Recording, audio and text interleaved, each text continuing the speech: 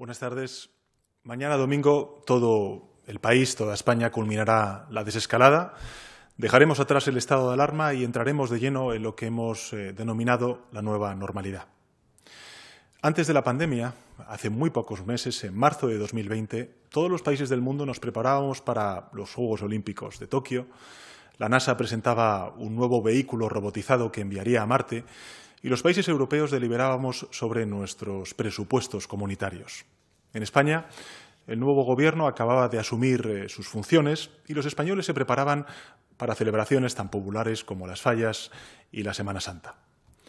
Todos lo ignorábamos, pero un virus desconocido ya había entrado hace tiempo silenciosamente en nuestras vidas. Había atravesado las fronteras procedente de Asia sin que los sistemas de prevención de todo el continente fueran capaces de detectarlo. Nadie sabía que estábamos a las puertas de lo que hemos sufrido, la mayor conmoción sanitaria, social y económica de estos últimos 80 años. Todos ignorábamos que era solo el inicio de una pesadilla que ha atacado primero a Europa, cebándose con las naciones como la nuestra más transitadas y que después ha proseguido su viaje letal a América del Norte y América del Sur, cobrándose la vida hasta hoy de cerca de medio millón de seres humanos en todo el mundo, según los registros oficiales de la Organización Mundial de la Salud. Más de 28.000 compatriotas han perdido la vida en nuestro país. La prioridad absoluta hace 99 días era frenar la propagación del virus, frenar la curva de contagio, evitar, en definitiva, el colapso de nuestros hospitales. En resumen, el propósito común que teníamos todos era salvar vidas. Por ello, el 14 de marzo anuncié la activación del estado de alarma y nuestro país se paró en seco. Recuerdo las palabras que utilicé como nuestra columna vertebral para vencer al virus. Sacrificio, resistencia y moral de victoria.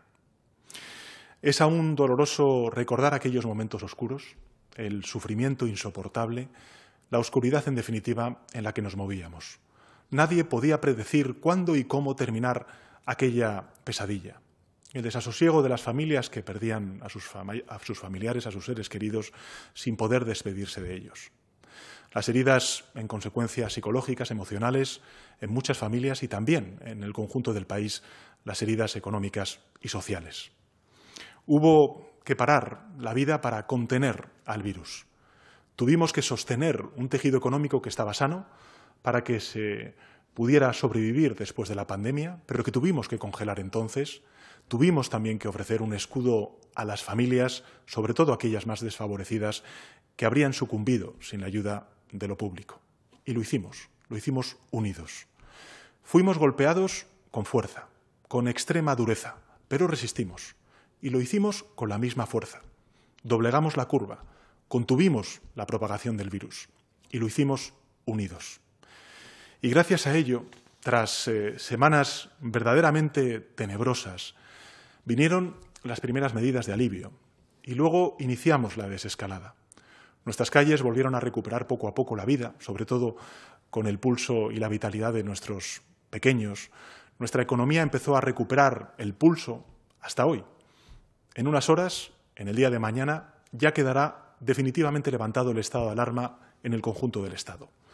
Ahora que ya no resulta necesario, sí me gustaría hacer balance y recordar que precisamente gracias a ese instrumento constitucional, al estado de alarma, hemos podido limitar movimientos, contactos, evitar así nuevos contagios, con la cobertura, insisto, plena de nuestra Constitución. Gracias al estado de alarma hemos beneficiado a todas y cada una de las comunidades autónomas, a todos y cada una de las ciudades autónomas. Gracias al estado de alarma hemos podido salvar miles y miles de vidas en el conjunto del país. Según estudios científicos independientes, 450.000 vidas se han salvado en nuestro país y más de 3 millones de vidas en todo el continente europeo gracias a las medidas de confinamiento que hemos eh, realizado el conjunto de países europeos. Comienza ahora una etapa nueva.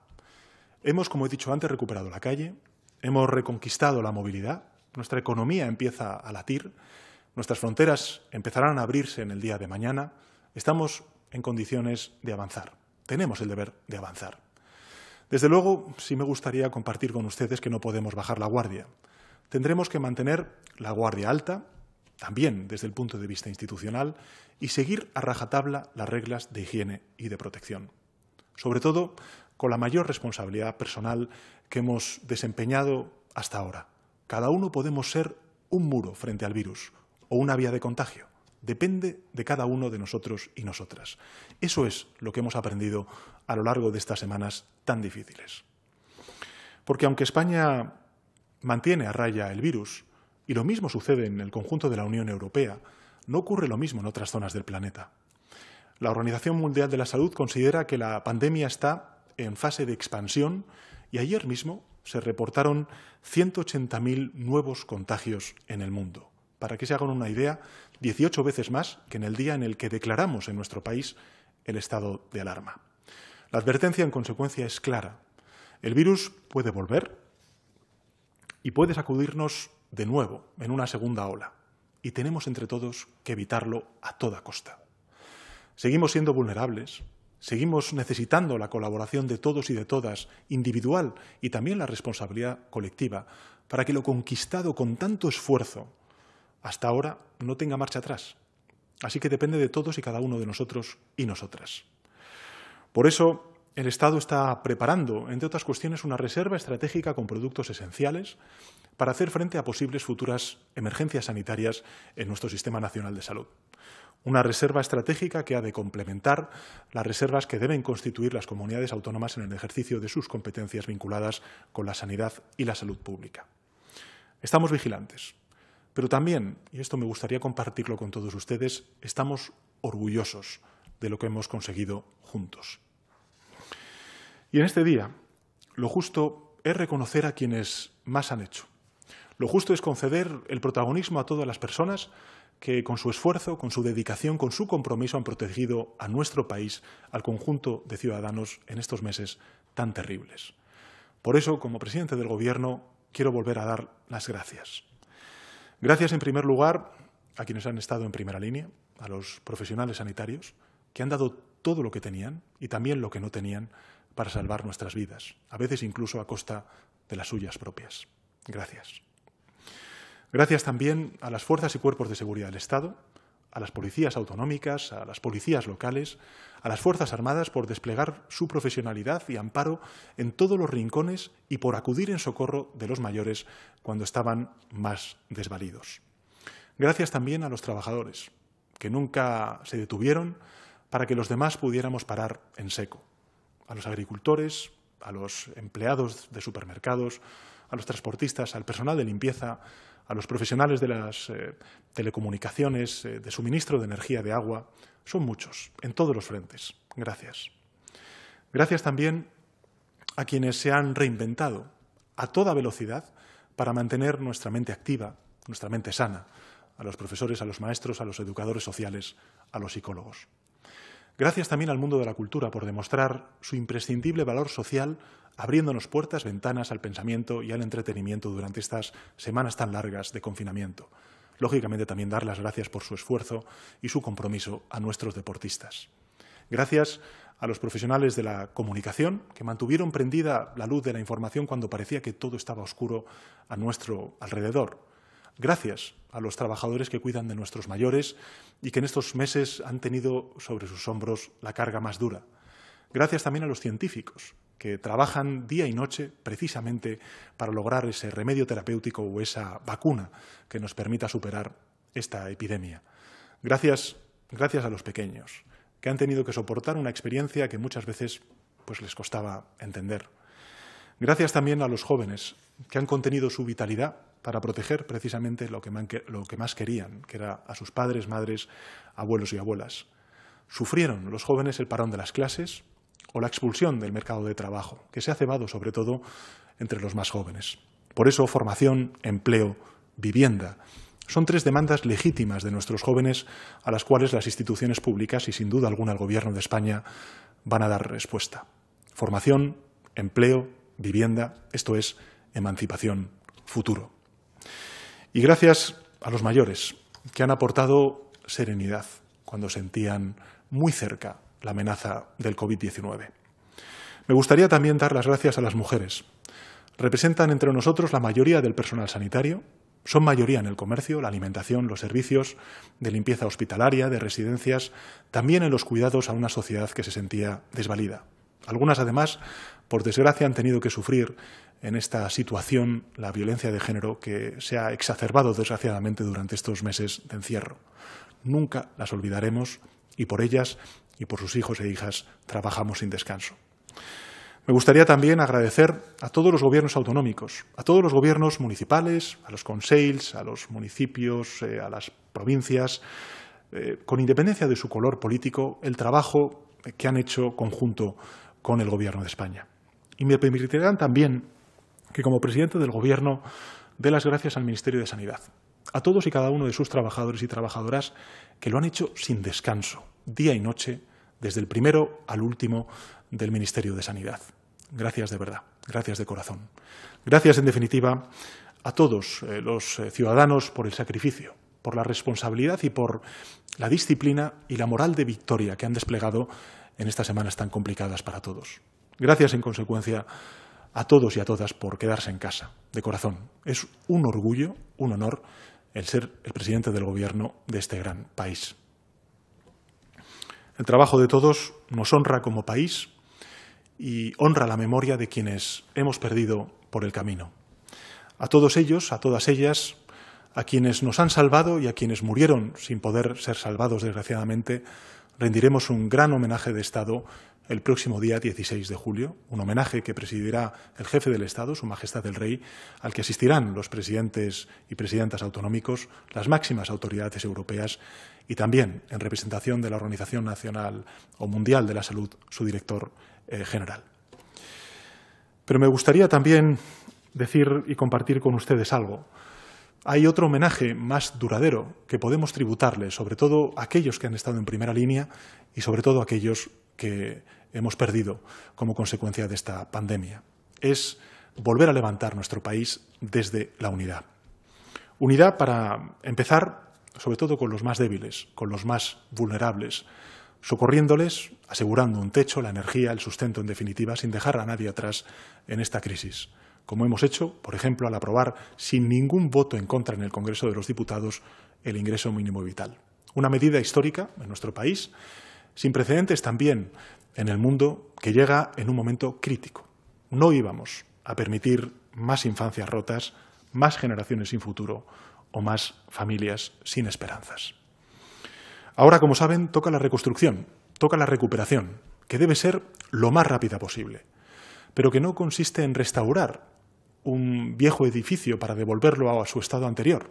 Sabíamos que ese edificio contaba con debilidades, mm, errores que teníamos que corregir. Debemos, en consecuencia, rehabilitar, remozar el antiguo edificio de nuestra economía.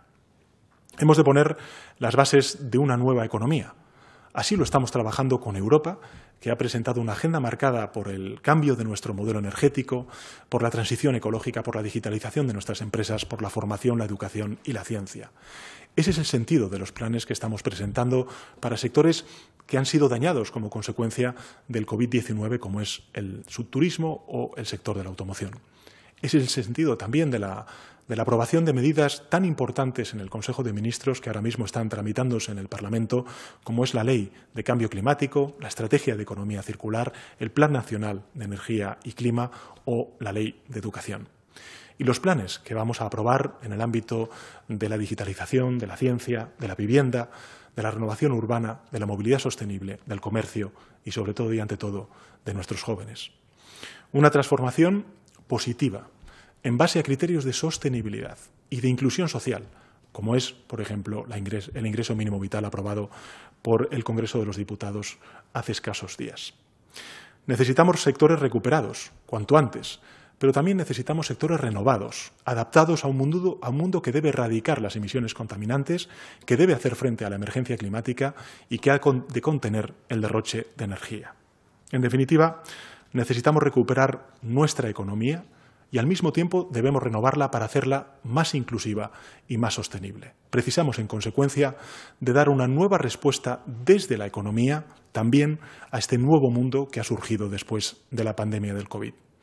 Este es el camino que tenemos ante nosotros. También el de poner en pie un nuevo estado del bienestar que subsane las carencias que se han evidenciado en esta crisis. Por eso, impulsaremos una comisión mixta de evaluación en el Congreso y en el Senado para analizar con rigor el estado de nuestra sanidad, de nuestra ciencia, de nuestro sistema de atención a los mayores, en definitiva, de nuestro sistema de protección social. Contamos esta vez con una ventaja que no se dio en la anterior crisis y es eh, la respuesta europea.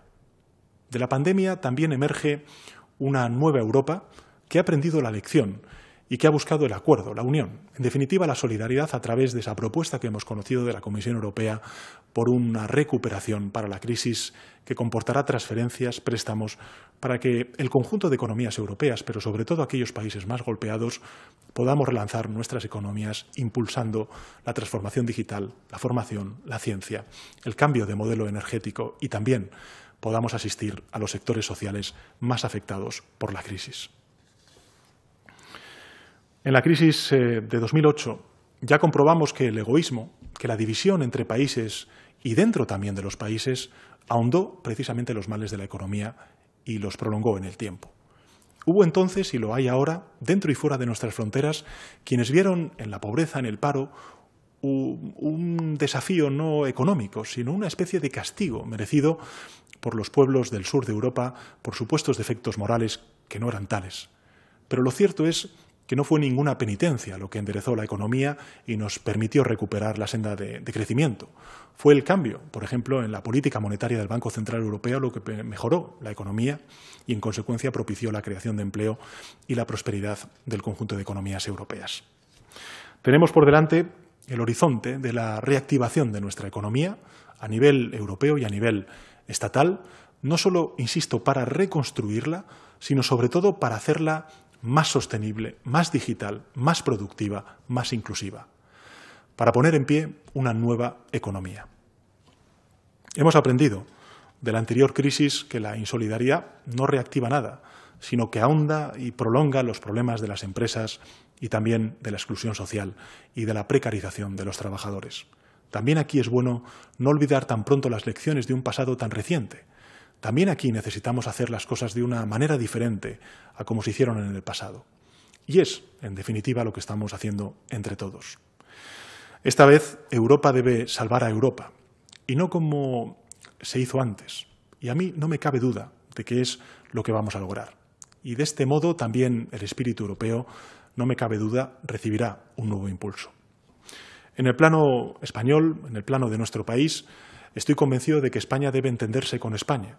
Y por eso en los próximos días, desde el Gobierno, y compartiremos con las fuerzas políticas que participan del ideal europeo el desarrollo de las negociaciones dentro del Consejo Europeo de esas propuestas conocidas por parte de la Comisión Europea y solicitaremos un respaldo activo a las posiciones del Gobierno de España. Europa debe vernos como somos, unidos en la defensa y en los intereses nacionales y del avance de la causa europea.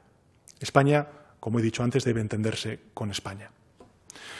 Una de esas consecuencias de esa filosofía de que España deba entenderse y reencontrarse con España debe ser la de la reflexión que compartimos en muchas ocasiones de que da la sensación de, que la experiencia vivida es que gastamos demasiadas energías, demasiado tiempo en crear eh, diferencias, divisiones, en definitiva, confrontación entre nosotros.